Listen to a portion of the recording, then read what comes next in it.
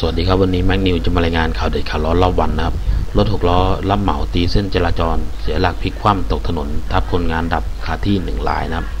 เมื่อเวลา 19.00 น วันที่ 16 ธันวาคม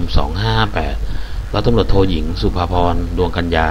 พนักงานสอบสวนสพเมืองประจวบ ได้รับแจ้งอุบัติเหตุรถบรรทุกหกล้อ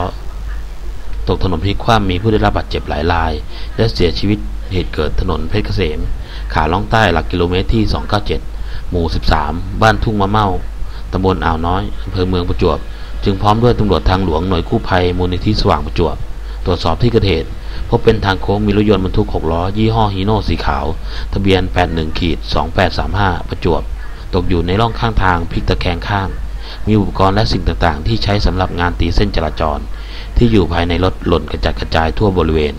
ผู้ขับขี่ได้รับบาดเจ็บ ทราบชื่อนายสามารถขุนชำนิอายุ 21 ปี เป็นลูกจ้างของบริษัทห้างหุ้นส่วนจำกัด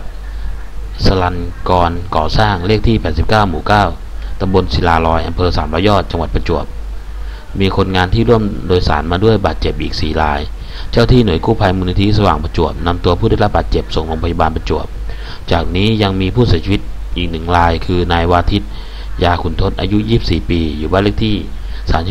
37 ทับ 27 หมู่ 4ตำบลเขาน้อยอำเภอปรานบุรี จังหวัดประจวบคีรีขันธ์นะครับ จากการสอบถามนายสามารถซึ่งเป็นคนขับ ให้การว่าได้นำคนงาน 5 คน ไปทำงานรับเหมาตีเส้น งานจรอจรที่จังหวัดเพชรบุรีนะครับ และกำลังเดินทางต่อไปที่จังหวัดนอง ถึงที่เกิดเหตุตนรู้สึกเพลียและเหน็ดเหนื่อยจากการทำงาน ทั้งวันจึงได้เผลอวูบหลับไปโดยไม่รู้ตัว เป็นเหตุทำให้รถเสียหลักตกถนน และทำให้ผู้โดยสารกระเด็นออกจากตัวรถถูกรถทับเสียชีวิต และมีผู้ได้รับบาดเจ็บดังกล่าวนะครับ